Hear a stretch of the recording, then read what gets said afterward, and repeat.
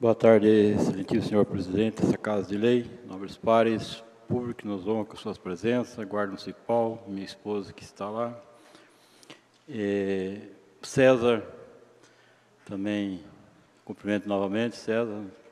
Quero fazer aqui um breve relatório. Até hoje eu liguei para o nobre vereador Givanildo e para a vereadora Cristiane Jangarelli para ver se eles queriam nos acompanhar numa expedição que fizemos hoje com, com o desembargador da Justiça, juiz federal, doutor, juiz federal da Quarta Vara, e mais outros desembargadores, mais outras autoridades, referente aos levantamentos que está sendo, o, o trabalho que está sendo feito na nossa área, de, aqui na nossa área. Tivemos duas reuniões importantes com essas autoridades, e há um, um diálogo importante, nobres pares, que a Taipu está sinalizando para a aquisição dessa área e eu acho que em breve terá um desfecho, porque eu esse dia aprendi uma coisa com um cidadão de rua, que mora na rua. E sempre quando encontro ele, ele fala, eu sempre converso com ele, sempre dou atenção para ele, que ele tem assim uma, uma atenção, uma fala interessante. E esses dias ele me falou, Sirineu, vou te falar uma coisa, nunca esqueça. Aonde não há o diálogo, surge vaga para conflito.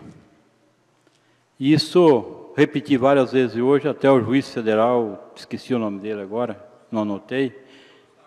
Não, veio de Curitiba, da quarta vara. E, e ele falou, fala interessante. Então, o que eu quero dizer? Hoje nós não vivemos num mundo de. O mundo que não tem diálogo, ele provoca destruição. Nós, nós vemos lá o que está acontecendo nos, nos países aí fora. E aqui não é diferente. O diálogo tem que prevalecer, ele tem que ser permanente e consistente. E eu vi hoje uma sinceridade tremenda por parte dessas autoridades de que têm o poder de caneta, que eles estão a fim de resolver esse problema. E eu falei, na minha, eu, perdi, eu, perdi, eu pedi a palavra em certos momentos, eu falei, para que esse diálogo seja consistente, tem que ouvir as duas partes.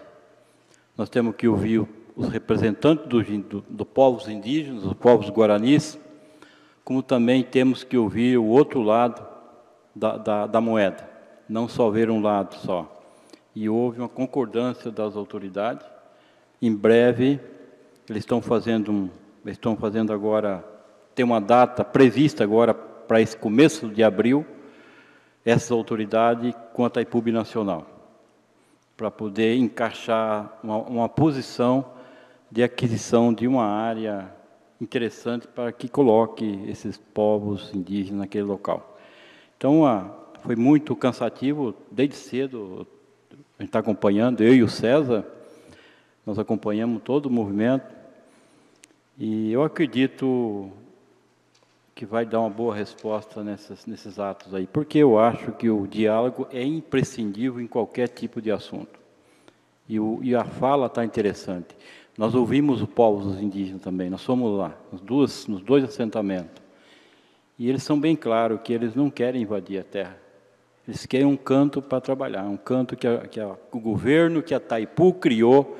Hoje foi falado por Hamilton Sirigueli, que é um representante dos direitos humanos, Conselho Estadual de Direitos Humanos, e eu também repeti, e próprios as autoridades repetiram, que a Taipu hoje é o vilão dessa história. Taipu tem que dar solução a esse problema, porque a Taipu, quando alagou esse território aqui, inclusive eu, inclusive eu falei, nós também fomos prejudicados, os pescadores. Então, Estou assim bem confiante que teremos aí um desfecho muito rápido, em breve, dessa questão desses, dessas preocupação de ambos lados, tanto preocupação do lado do, do, dos povos indígenas, também como preocupação do lado dos agricultores, que são a nossa, nosso, o nosso, nosso produto, nossas mesas. Então, fiquei muito contente Uma pena que, como se Vossa Excelência faz parte da, da comissão e não puderam nos acompanhar. Mas não vai faltar oportunidade.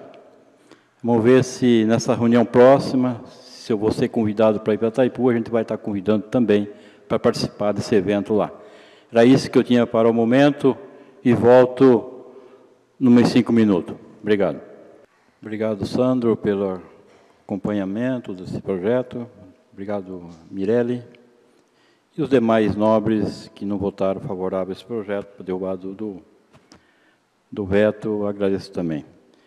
Então, eu volto cinco minutos para as explicações pessoais, informar esse, essa Câmara de Vereadores que o Partido dos Trabalhadores tem já o seu diretório definido. Eu acho que em Guaíra é o único partido que tem a direção eleita pela manutenção, não é, como se diz, é, provisória, já é, é eleição já definida.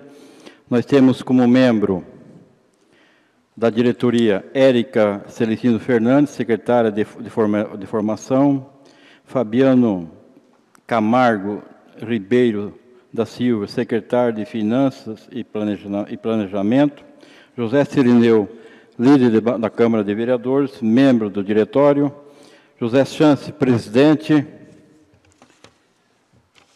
e Maria, Maria José Dias, secretária de Organização, Rosimara Capati, secretária de Comunicação, William Ferreira Dias, secretário de Movimentação Populares. Então, nós estamos, nosso partido hoje está organizado e estamos por aí. Quero agradecer de fato a esse dia que tivemos uma discussão para os nossos pescadores, mas não fomos vitoriosos, eles estão informados. Eu convidei vários deles para vir a essa reunião, mas devido que a pesca abriu e o horário determinado que termina a sessão, fica difícil para que eles viessem a, essa, a esse evento. Mas, com certeza, estarei comunicando a eles, a todos no grupo. É isso que eu tinha para o momento, Excelência, e agradeço a oportunidade.